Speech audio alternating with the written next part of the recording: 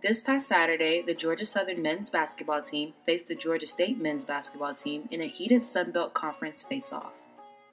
This was a must-win game for both teams as they were two teams involved in a three-way first-place tie for the conference. The winner would be the champions of the Sun Belt Conference and rewarded a bye game in the playoffs.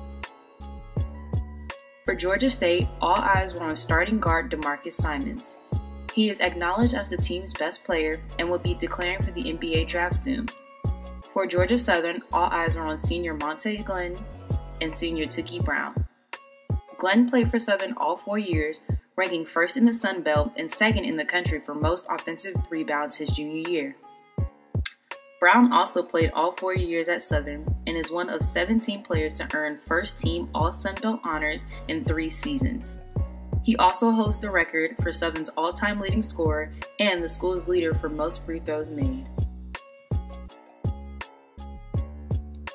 Hanner Fieldhouse was packed with students and fans for both teams as the game went on. Southern was the first to put points on the board thanks to three free throws from starting guard Calvin Wishart.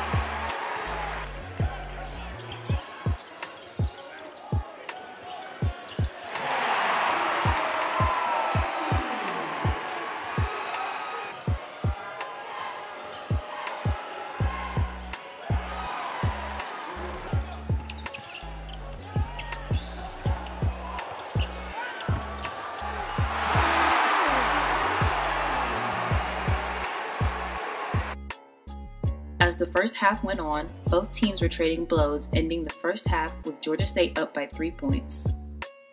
The beginning of the second half was not great for the Eagles, but nonetheless, they kept fighting.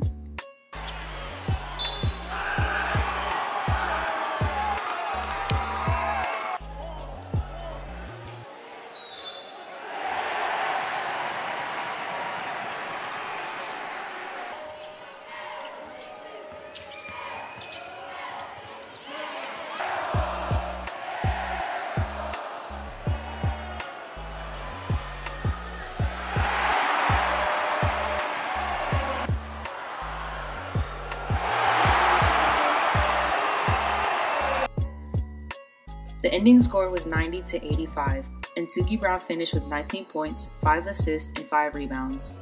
Montae Glenn finished with a double double, 11 points, and 10 rebounds. The men's basketball team playoff journey begins next Friday against the winner of Coastal Carolina versus either the University of Louisiana Monroe or Appalachian State.